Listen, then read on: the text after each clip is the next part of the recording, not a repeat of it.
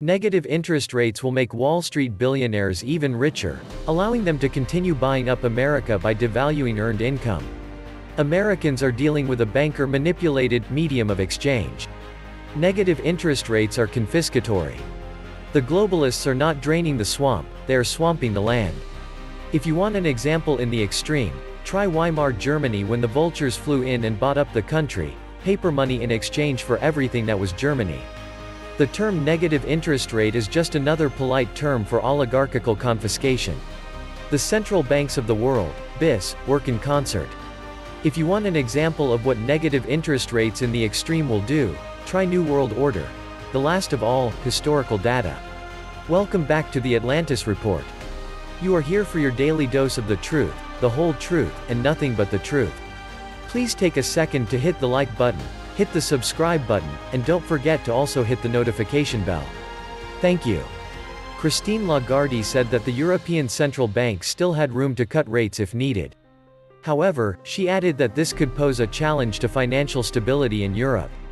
More and more banks are passing on the negative interest rates to depositors, and this is undermining the elderly and pensions. From a broader view, this policy of negative interest rates has weakened the euro even as a reserve currency. Nobody wants it in their books. It is like it has the plague. I cannot express how dangerous this policy of negative interest rates has been. It has been the cure to eliminate the euro as a reserve currency. If the US wants to kill the dollar, just adopt negative interest rates and watch how it plummets. I believe you may see Lagarde try to unravel this mess created by Draghi. The most recent adventure in lowering rates is going to cause another housing crisis in the entry-level market. As the rates dropped, idiots are bidding up the entry-level homes way beyond what they are worth, and thus actually increasing their monthly payments, down payments, taxes, and PMI. Prices have jumped 10% before they are being bid up. Mortgages are being written at six times income, and the appraisers are ignoring home conditions and houses with basements when pulling comparables. Everyone is ignoring significant problems with these houses, such as roofs that need to be replaced, old HVAC systems, PVC plumbing, and crumbling siding that the buyers will not have the money to fix. I told a guy in the building business that I had never seen it like this before. He said that he had in 2006. Fiat digital US dollar is created at virtually zero cost on computers, so why should there be any scarcity cost, interest, attached to that? This takes no real work, and almost nothing is actually done. The money supply is created by new lending, and if new credit seems excessive, interest rates are increased. If new loan is no adequate in volume, interest rates are lowered. If needed, the interest rate can go to zero then below to stimulate more private sector credit creation. If more spending is desired, the rates paid on savings accounts are reduced until some of those savings are disgorged into the marketplace to circulate. Deposits are not really required to lend money into existence, and they could actually be abolished as such accounts are really a cost to the business that accepts the deposits, and the USG instructs the banks that they must accept deposits, so they do. All the money they lend is created out of thin air, and the reserve requirement could be reduced to zero.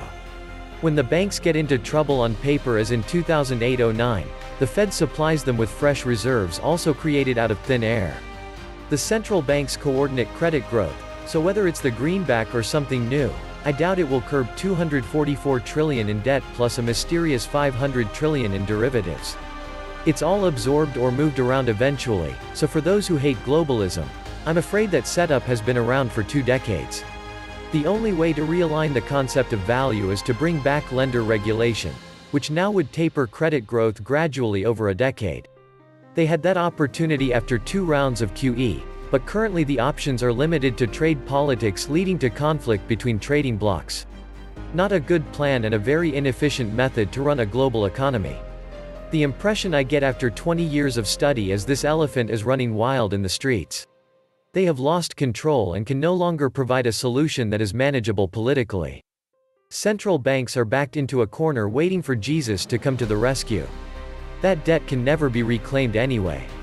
It's funny money and everyone knows it, but if the dollar collapses so does that debt, the bank's power and the Fed. So they have no choice but to keep on printing, keep on propping it up and keep trying to convince people it's worth more than the paper it's printed on. Even if in the bottom of our hearts we know it's not. Its continued existence is based solely on ever-diminishing faith and people's fear of the unknown. It's a death spiral from a great height that threatens not only the dollar but fiat currencies in general. The central banks are trapped.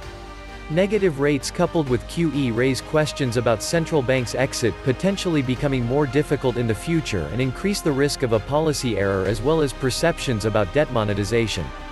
It potentially creates bond bubbles by lowering bond yields below their equilibrium or fair value, creating fears that an eventual return to normality could be accompanied by sharp price declines. Perceptions about bond bubbles can increase long-term uncertainty. In turn, higher risk might prevent economic agents such as businesses from spending.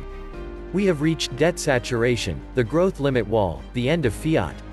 Money renters simply can no longer loan you money and expect to be paid with money that never existed. Case in point, wages in the West haven't really increased since we left the gold standard. As a result, we really haven't been able to save or consume, only add more debt or bring women into the workforce, not sound.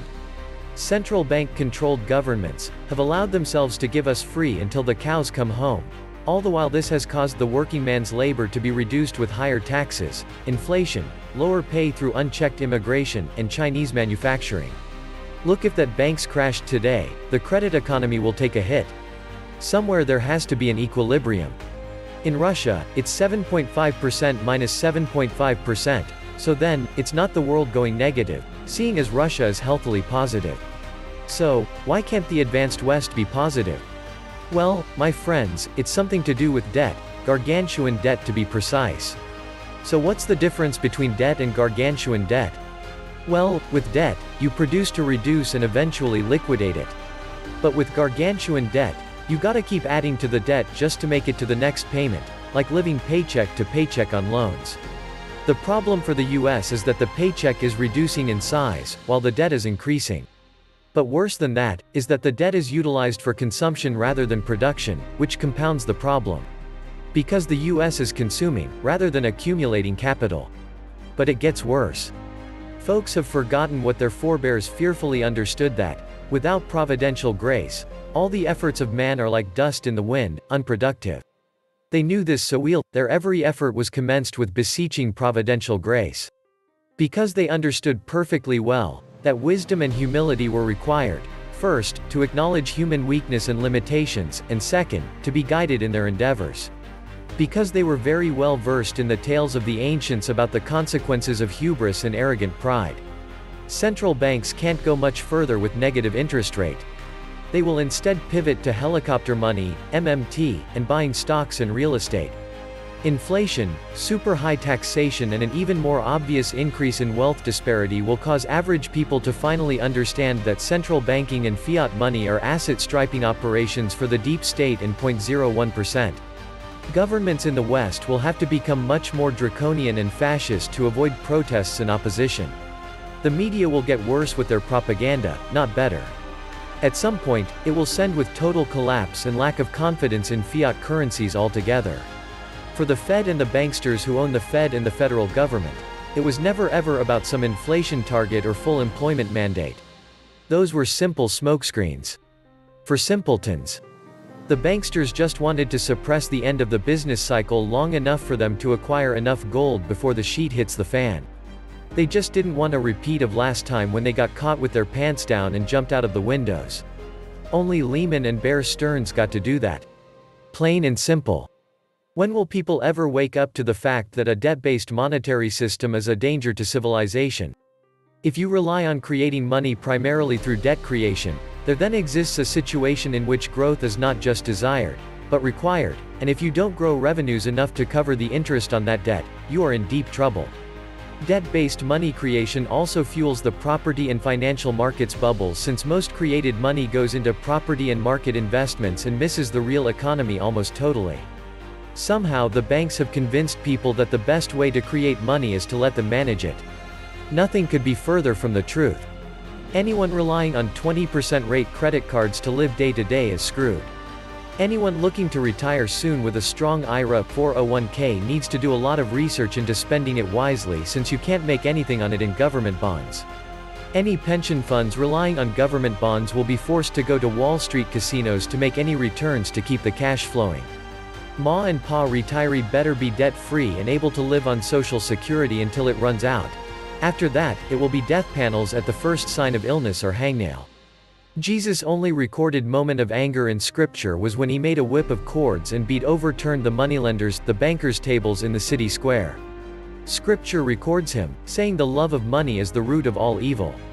This was the Atlantis Report. Please like, share, leave me a comment, subscribe. And please take some time to subscribe to my backup channels, I do upload videos there too. You'll find the links in the description box. You will also find a PayPal link if you want to make a donation. Thank you wholeheartedly to all those of you who have already donated. Stay safe and healthy friends.